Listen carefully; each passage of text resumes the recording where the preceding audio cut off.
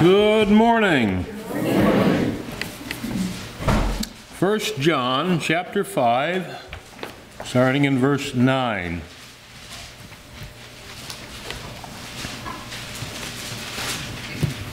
If we receive the witness of men, the witness of God is greater. For this is the witness of God which he has testified of his Son. He who believes in the Son of God has the witness in himself. He who does not believe God has made him a liar, because he has not believed in the testimony that God has given of his Son. And this is the testimony that God has given us eternal life, and this life is in his Son. He who has the Son has life. He who does not have the Son of God does not have life. These things I have written to you who believe in the name of the Son of God, that you may know that you have eternal life, and that you may continue to believe in the name of the Son of God. Now, this is the confidence that we have in him, that if we ask anything according to his will, he hears us. And if we know that He hears us, whatever we ask, we know that we have the petitions that we have asked of Him. If anyone sees his brother sinning a sin which does not lead to death, he will ask, and He will give him life for those who commit the sin not leading to death. There is a sin leading to death. I do not say that ye should pray about that. All unrighteousness is sin, and there is a sin not leading to death. We know that whoever is born of God does not sin, but he who has been born of God keeps himself, and the wicked one does not touch him. We know that we are of God, and the whole world lies under the sway of the wicked one. And we know that the Son of God has come and has given us understanding, that we may know him who is true, and we are in him who is true, in his Son Jesus Christ. This is the true God and eternal life. Little children, keep yourselves from idols. And all God's people said, Thank you.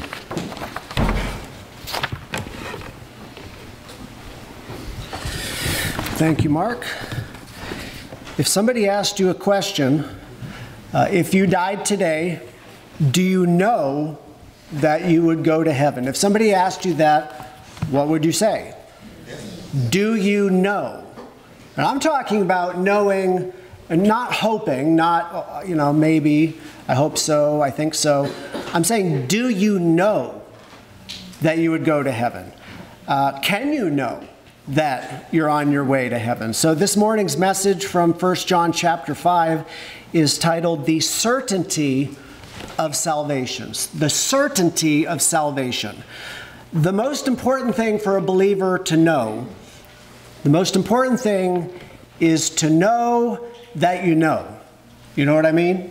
To know that you know that you know. To have that confidence that you are a child of God and if you, and whenever you die, or if the Lord returned, that you just know that you're on your way to heaven. You see, there's all sorts of people today uh, living the Christian life. They're in church, they believe in Jesus, they hope they're going to heaven, they think they're going to heaven, but a lot of people don't have that assurance. And this is really what we're talking about this morning the assurance of salvation. I think I preached a message if, if, I'm remembering correctly, the last time I preached on the assurance of salvation was during 2020.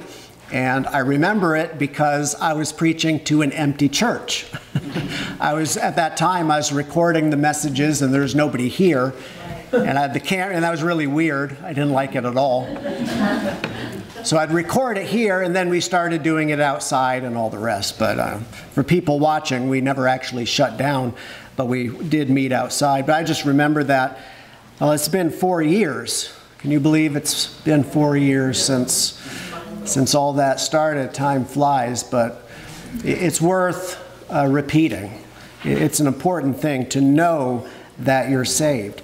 So let's just start with a question Can somebody know? Because there are churches, religious groups, that would say that you can't know.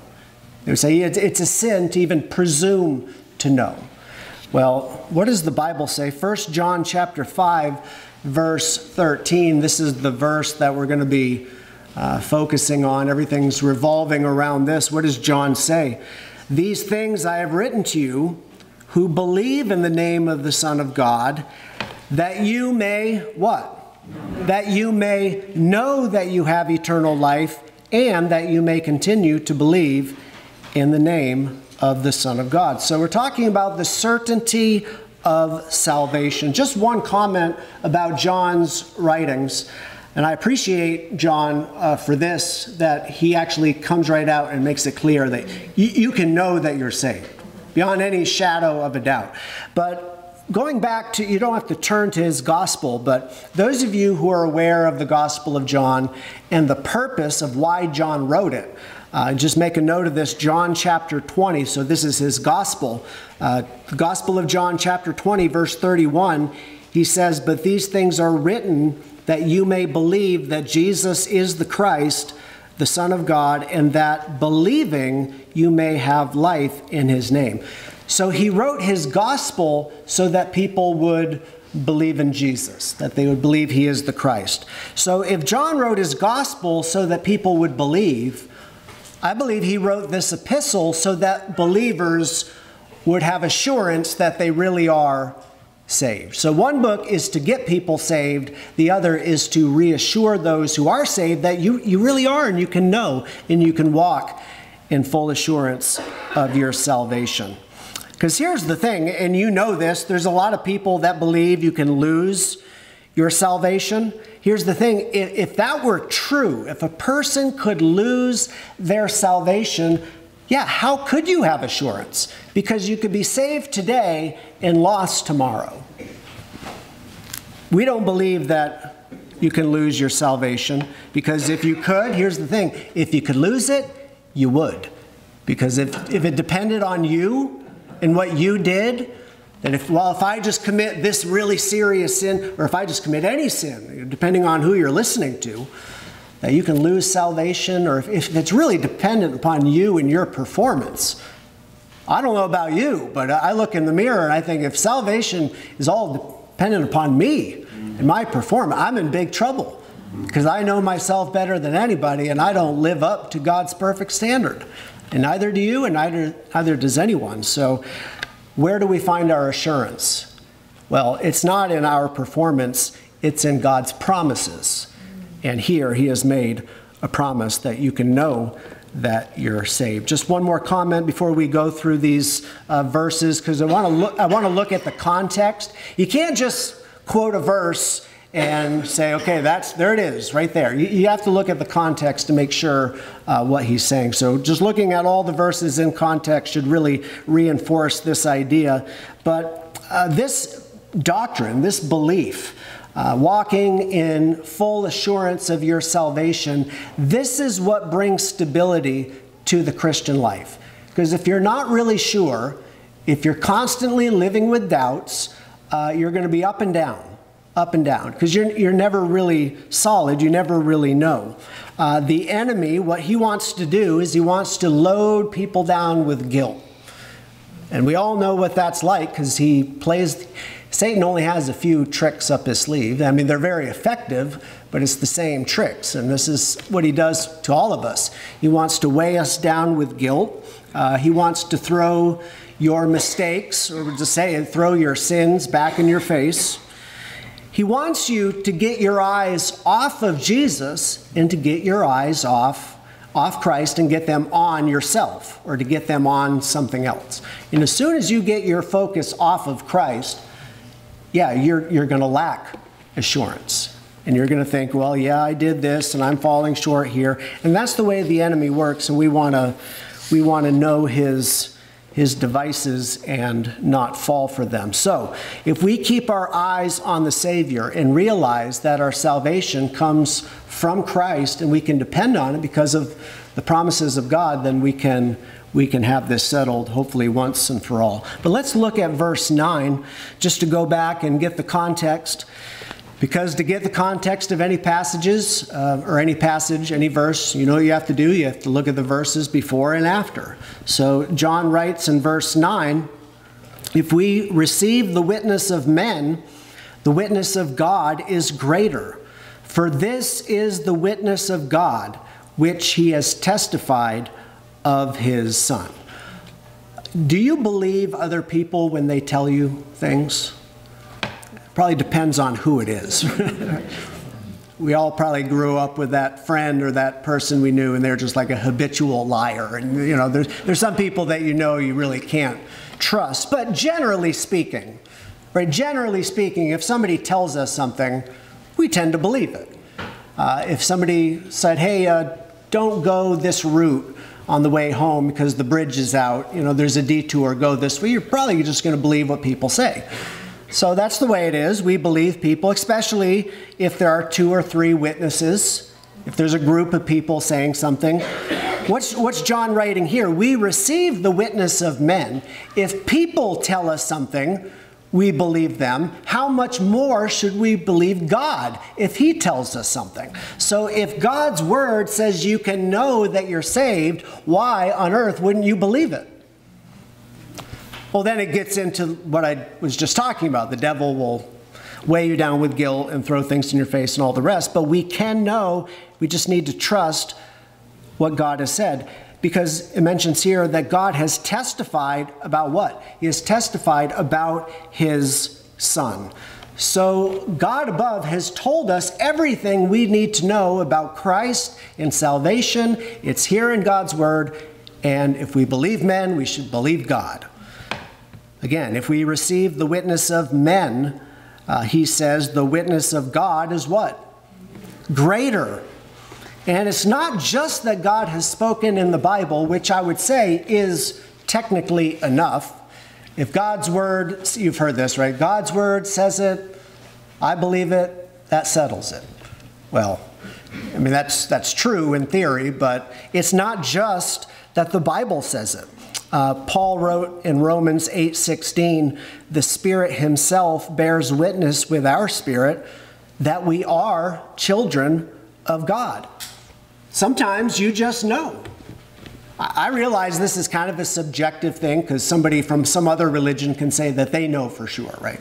So I, I, get it. But there is something about the internal witness of the Holy Spirit. Have you ever heard something? You just know it's true. Have you ever had that feeling? You're led by the Spirit. You know that I need to do this or I shouldn't do that. And th- this is how God works. His Spirit confirms with our spirit that we are children of God. That's why I say, you know, you can know that you're saved and you can know that you know. And you can know that you know that you know. That, that is a thing. so God has testified in Scripture that eternal life comes by or through who? Jesus. It's not you. It's not how well you keep the Ten Commandments. It's not because you've gone through this ritual or done so many good deeds. I mean, if it's about doing good deeds, how many good deeds do you need to do? This is the way, you know, this is the way most people believe.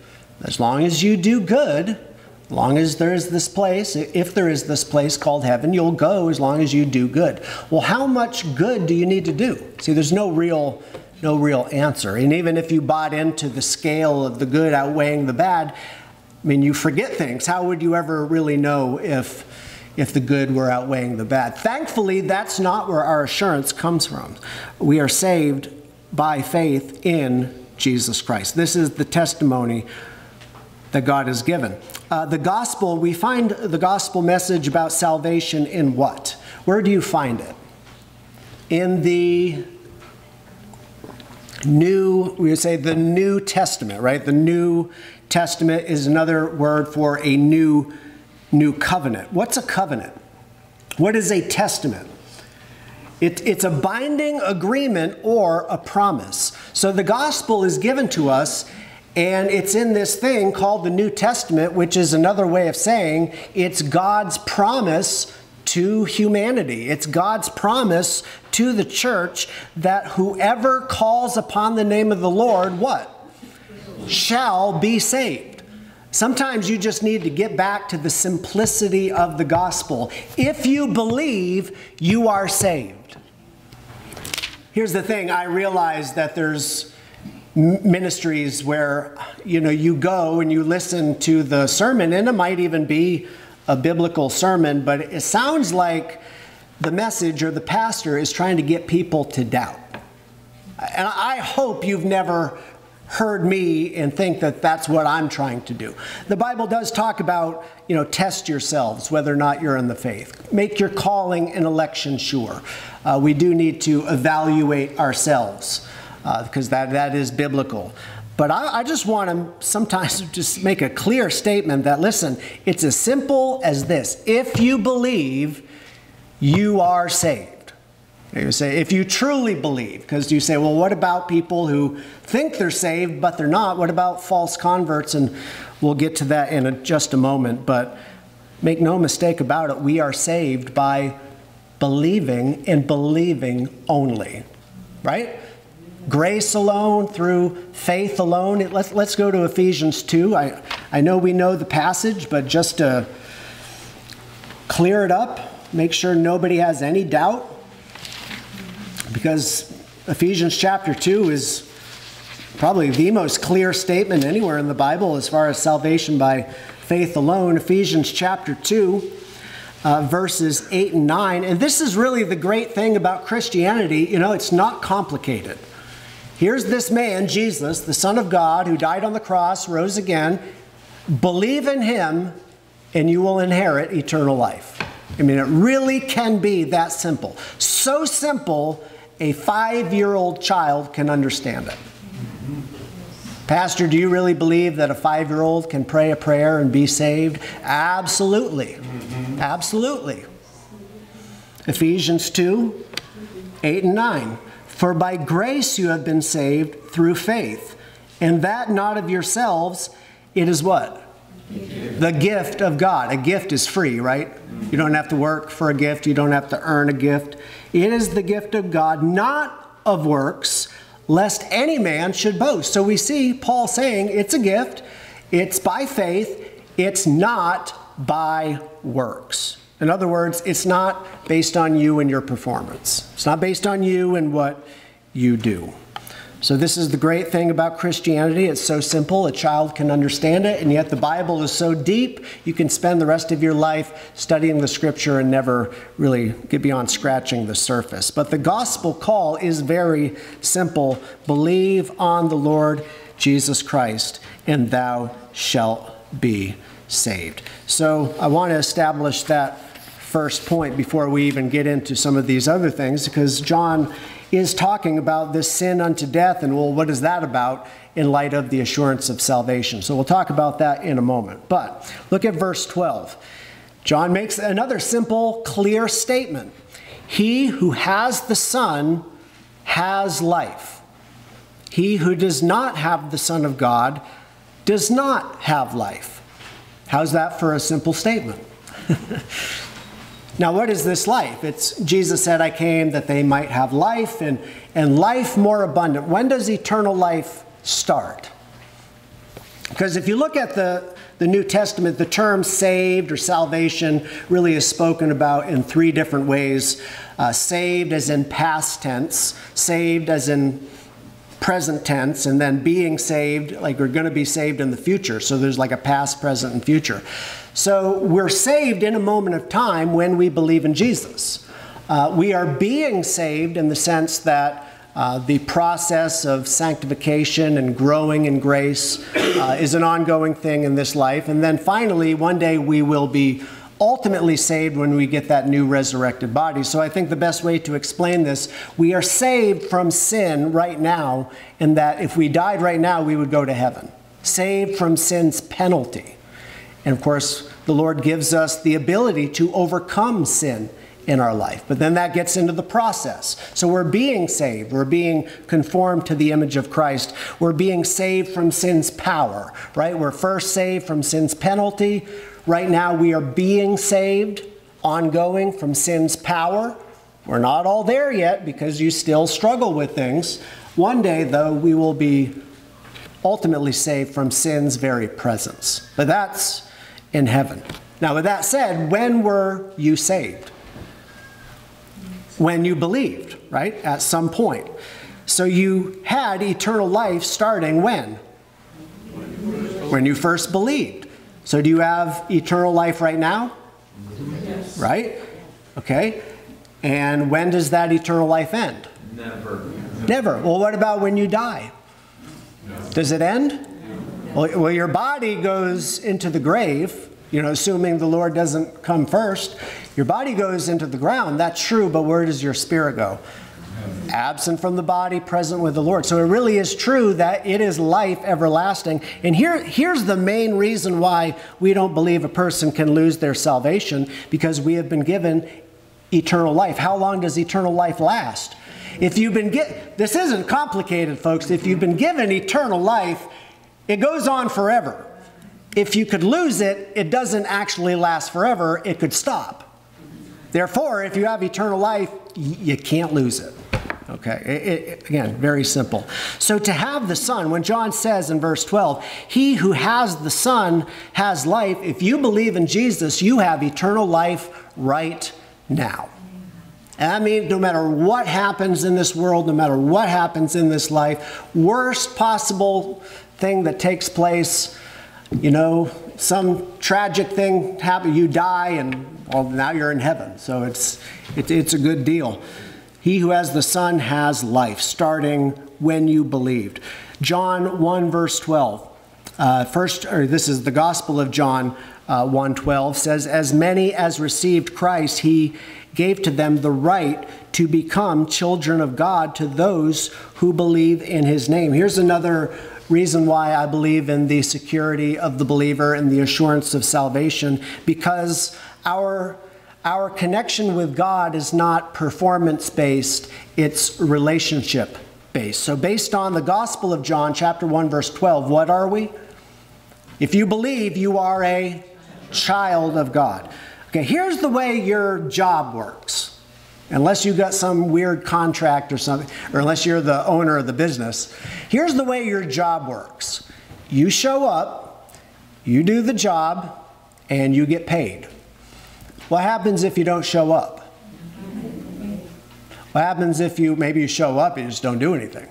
You know, after I mean, you might be able to get away with that for a little while, but if you don't show up and or you don't do your job, guess what? You're getting terminated, whether you like it or not. That's the way the world is. You know, this is the way a lot of people you know, th- their version of love is, well, I love you and my love is unconditional until you do something that I don't like and then I don't love you anymore. That's not the way God is.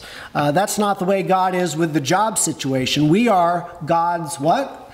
Children, and anyone who's a parent, you know that your love for your children, that love is unconditional because no matter what they do, I mean, they might displease you, and we've all displeased our parents, but no matter what they do, you will always love them, and they will always be your children. Can you do anything to stop being your father's child or your mother's child? Can you do anything? Why do you think? Because God isn't our father in the sense that he gave birth to us like with human relationships. Why do you think he uses that analogy, if you will, that we are his children and he is our heavenly father. Why do you think he does that? Why is that in the Bible? So that we know that we are secure in our relationship. So, again, in the world, in your job, it's performance based, but our connection with God is relationship based. There's nothing we can do. Once we are a child of God, there is nothing we can do to change that. So, comparing this verse of John, uh, 1 John 5:13, when John says, "These things I have written to you who believe in the name of the Son of God, that you may know that you have eternal life, and that you may continue to believe in the name of the Son of God." This is the verse where we get our assurance. I mean, there's other passages we could look at, but this is the most clear passage. But there's something that needs to be pointed out here. Because I, I, I know that there's some people, because you've been taught Hopefully, you've been taught properly, and when you hear things, you think, okay, yeah, but what about this? What about that? As I said, no matter what, if you're a child of God, no matter what, you will always be God's child. And someone's thinking, yeah, but what about the person who leaves the faith? What about the person who turns their back on Christ? I'm going to address that one second. Notice what John says here in verse 13. This is, this is the key. The second half of the verse, he says that you may what? Continue to believe. If you look back at John's gospel, he talks about that believing you have life in his name. It's an ongoing thing. So you're saved once you believe. Here's the thing you, you have to keep believing. I mean, that would be the one, I don't want to say condition, but it's, it's the one thing that brings security is the fact that God always keeps us as his child, but we continue to believe. So that that is necessary because John's going to get into this, uh, this other issue about the sin unto death. But let's continue reading 1 John. I don't, where, I don't know where the time went. Is that clock right? Five of? Okay. All right, I won't worry about it. I got a word, so. Um, 1 John 5, 14 and 15. So he, along the along the lines of assurance, now he's talking about assurance and confidence in prayer. Because if if God is our heavenly Father, we should come to him and ask him things. Uh, and he should give us what we ask, right? Well, again, remember the parent-child relationship. Um, have, have you ever asked your parents for something and they said no? But he, here's why I bring this up, and here's why I think John brings it up. This is one reason why some people doubt, because they say, you know, I've been praying to God. I've been asking Him for this. I've, I've been praying for this, and God is not answering my prayers. I won't ask you to raise your hand, but who has had doubts because God doesn't seem to be answering your prayers? Again, not going to ask for a raise of hand, but I know this. I know this is a thing. I won't tell you how I know, all right?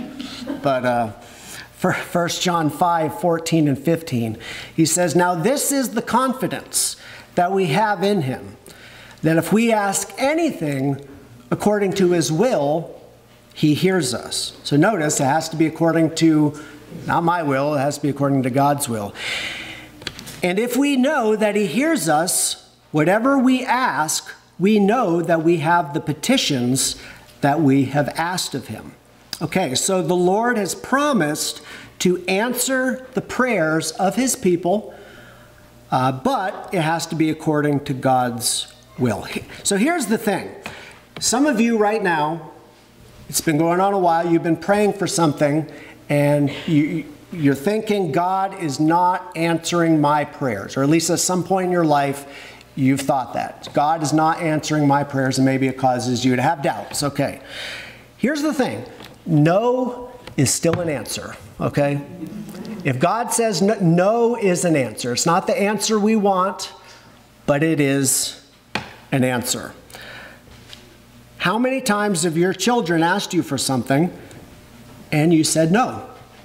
More times than you can count because maybe you know it's not good for the family in general that you do this. Maybe you know if you give them that, it's not good for them.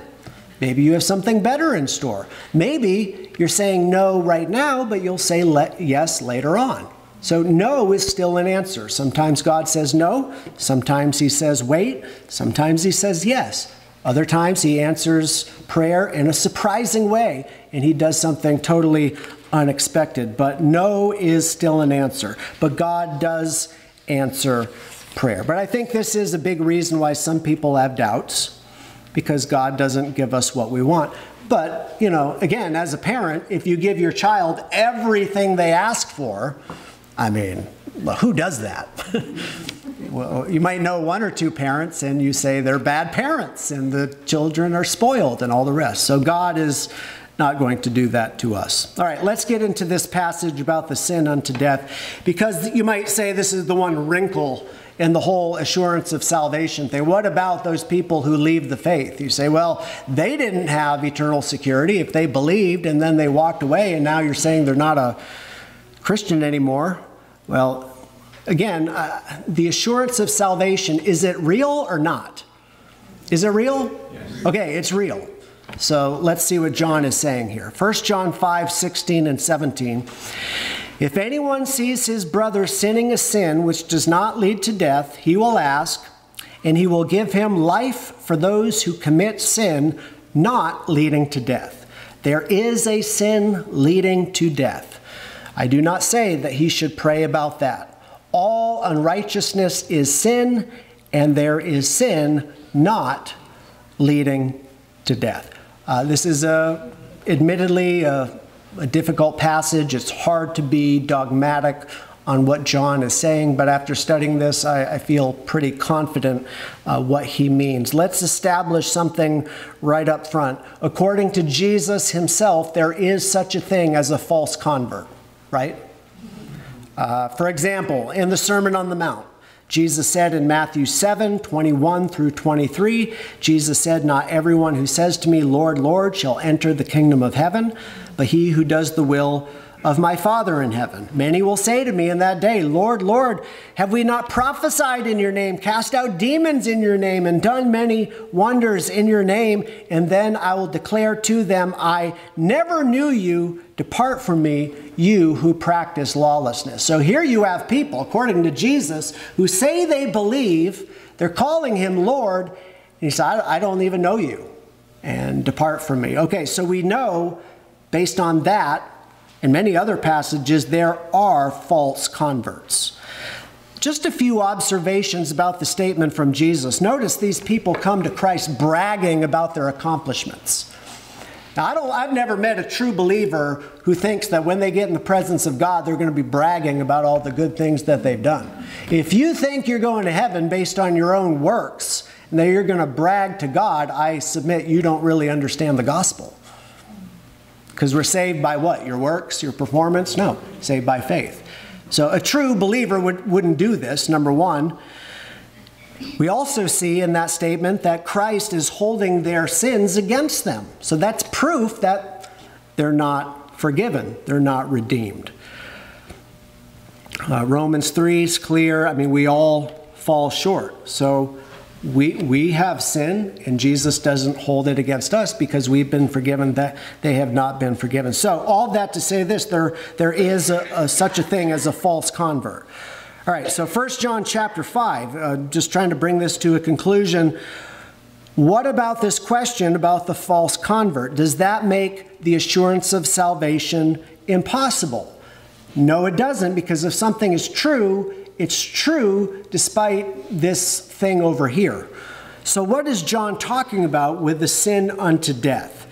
Um, there, there's a lot of different views. I already preached on this a Sunday night a few months ago. I'm not going to go through that. But the more I look at this, the more I look at it in context. The people John is speaking about who commit the sin unto death, I, at this point, I believe what John is saying is he's talking about those who commit the sin that we call apostasy or falling away from the faith.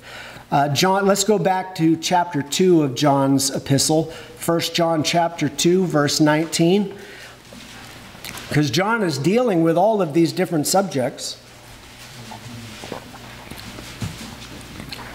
1 John 2:19 he says about such people who fall away from the faith he says they went out from us but they were not of us for if they had been of us they would have continued with us but they went out that they might be made manifest that none of them were of us so a person who walks away from faith in Christ according to John they were never really a true believer to begin with so, what does that mean?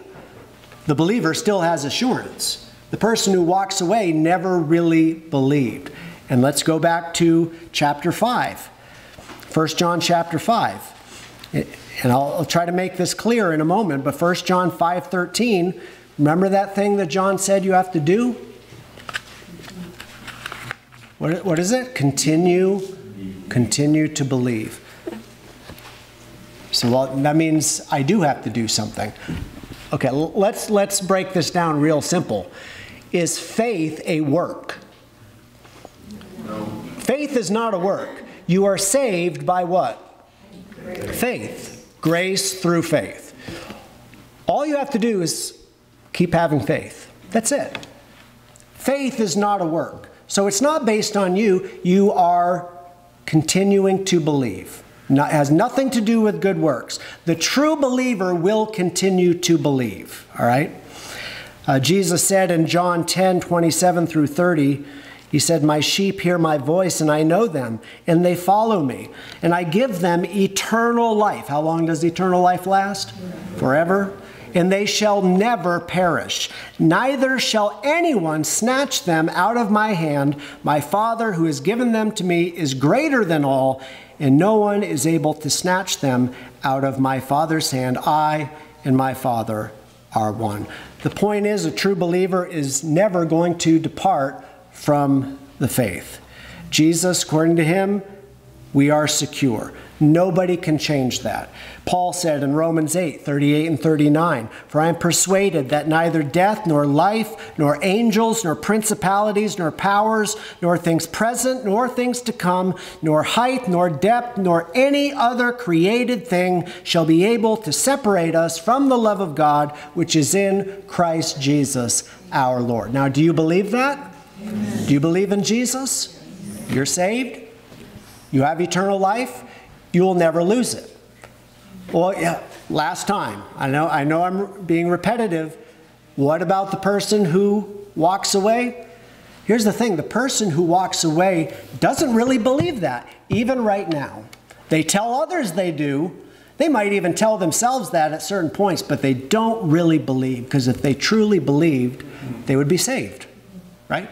Friends, this isn't complicated. If you're saved, now, if you believe in Jesus, you're saved.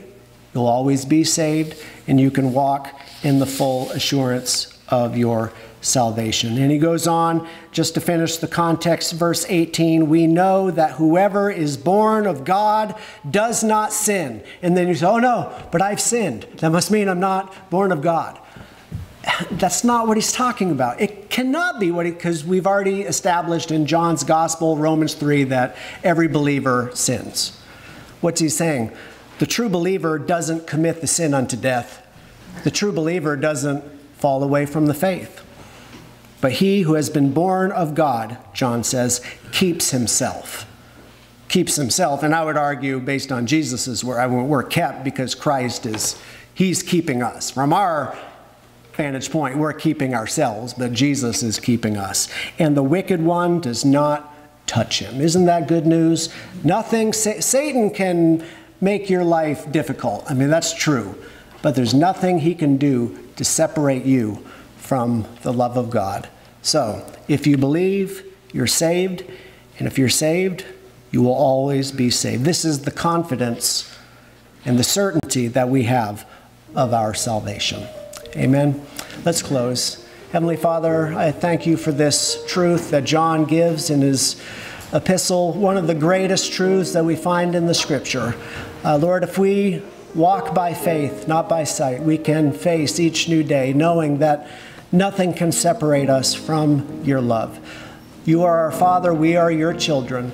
Nothing can change that. Help each and every person here to walk in the full assurance of their salvation. And Lord, if there's someone listening who they know in their heart they have never truly believed in the gospel, I pray that your Holy Spirit would change their heart, even at this very moment, that they would finally come to that place where they are no longer an unbeliever, but a believing one. And if they do that, they will be given the gift of everlasting life. We thank you for these truths. In Jesus' name, amen.